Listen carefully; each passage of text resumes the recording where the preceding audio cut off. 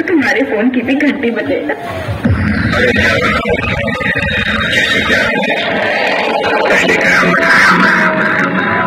उसके बाद उसने कहा चुनाव लगा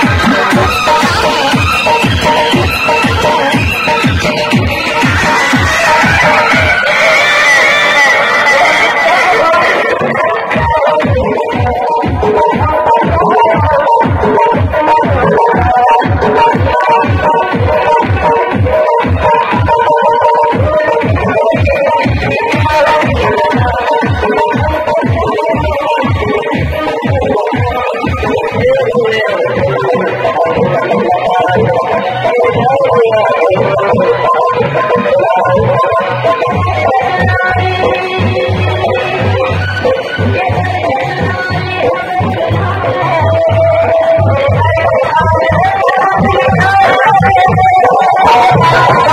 جان